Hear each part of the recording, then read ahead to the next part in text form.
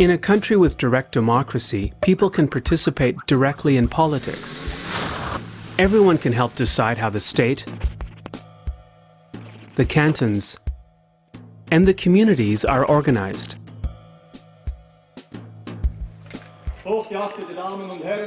One of the oldest forms of direct democracy is the so-called Landsgemeinde. Appenzell Innerrhodes and Glarus are the two last cantons where residents entitled to vote gather every spring in the open air to decide on laws and expenditure. In the whole of Switzerland, residents vote on average four times a year on various issues concerning their community, their canton, or the whole of the country.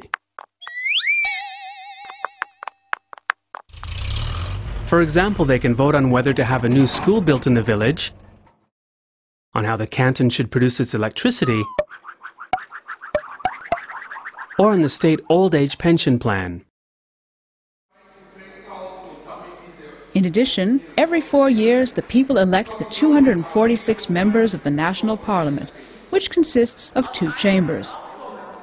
The House of Representatives, representing the people, and the Senate representing the cantons.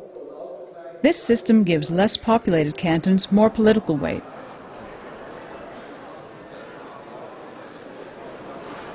Parliament makes laws and elects the national government, which consists of seven members of various parties. People can overturn laws made by the Parliament by launching a referendum. If they manage to collect 50,000 signatures within 100 days, the bill has to be voted on by the public. The People's Initiative enables citizens to make alterations to the Swiss constitution. To hold a public vote on an initiative, 100,000 signatures have to be collected within 18 months. What are the pros and cons of this system? The main advantage is that it gives the Swiss citizens a lot of power in decision making every uh, so often, several times a year, they can take decisions not just on who runs the country, but also on concrete proposals. One of the key disadvantages is probably that it makes decision making slower, and there are a lot of political actors involved. There's the parliament, there's the administration, the government, interest groups, and uh, and at the end the people, and often it's unclear at the end who has been responsible.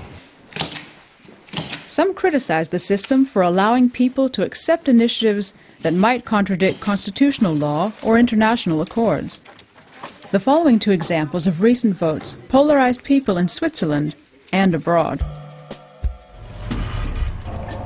In November 2009, a people's initiative to ban minarets in Switzerland was accepted by 58% of voters despite Parliament and the government's clear recommendation that it be rejected.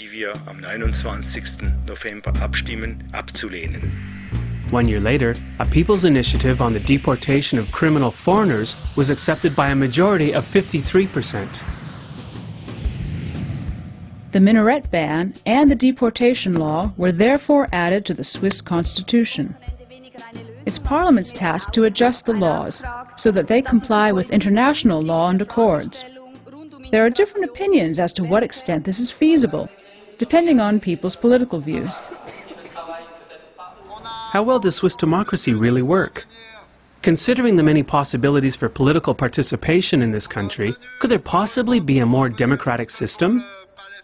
At the beginning of 2011, political scientists at Zurich University, as well as at the Social Science Research Center in Berlin in Germany, developed a democracy barometer for 30 countries. Surprisingly, Switzerland only ranked 14th. The study is controversial, but highlights other criteria that define a democracy besides active participation in the political process. In Switzerland, it sees shortcomings, for instance, in the lack of a constitutional court in party financing, which is not transparent, and in the weak participation in public votes and elections. On average, only two out of five people eligible actually cast their votes. Despite some deficiencies, Switzerland's direct democracy is unique. Switzerland is the only system where direct democracy plays such an important role in decision making at the national level are when the votes on, uh, on, on issues determine the political ag agenda to a great degree. It makes decision making slightly less predictable because at the end it's the people that are going to decide and not just the elites. Together with neutrality and federalism, direct democracy makes part of the Swiss national identity.